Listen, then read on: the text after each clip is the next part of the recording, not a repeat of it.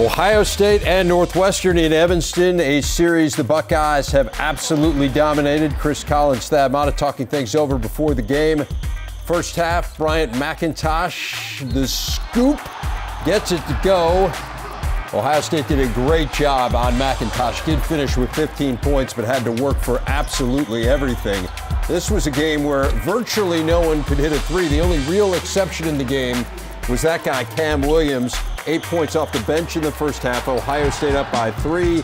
Then Williams, Marc Loving, a 14 to 2 run by the Buckeyes, put them up 26 17. But here come the Wildcats. Off the deflection by Tre Demps. He misses. Gavin Skelly does not. Northwestern down 26 21 this was not really reflective of what happened in the game for Tre Demps, but it was one big shot. He was one of eight from three three of 17 overall from the field. Nate Taphorn, the nice save, and the three out of the corner. Northwestern showing some life from behind the arc. They close the half on a 10-0 run, 27-26 at the break. To the second half, Jaquan Lyle with the steal. He had his struggles certainly in this game. That his lone field goal was just one of seven. Turnovers were an issue as well. Nice pass by Nate Taphorn to Demps and Northwestern on top 36-34. The story of this game, though, as it turned out, was Kam Williams. Just huge off the bench. The quarter three ball puts the Buckeyes on top by one. Then more from Williams. On the other side, he was five of nine behind the arc, 21 points. Buckeyes up by four. McIntosh trying to answer for Northwestern. He hits the three, but the catch just six of 25 behind the arc on the heels of two of 20 against Maryland the other night. How about Williams again? 49-44 Buckeyes. Cats down four. Aaron Falzon, another guy who had trouble finding the stroke. The freshman hit just one of seven. That was the one. The deficit is one. That's when Ohio State took over, though. Loving through the lane and one. Buckeyes on top 55 50, and then more from Williams.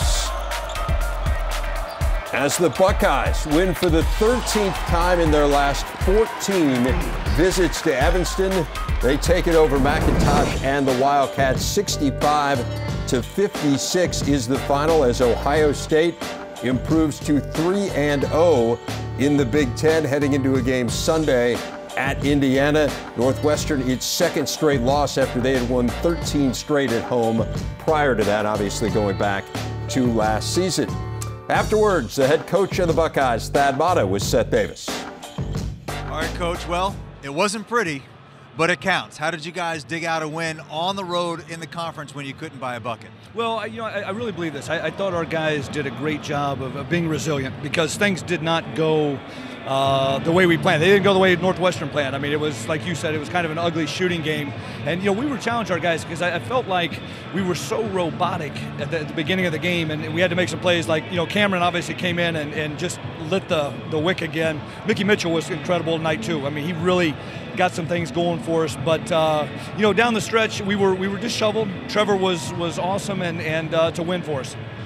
At one point, you lost four in a row. Now you've won nine out of ten. What's the biggest difference in this team today as opposed to four weeks ago? Well, uh, obviously we've grown up a little bit. We're a little bit more mature. Um, we're understanding. I mean, you, you, know how it is, Seth. When you've got so many new guys and, and, you're trying to gel them together, and everybody's kind of feeling their own way, they're probably thinking more about themselves than they are the team.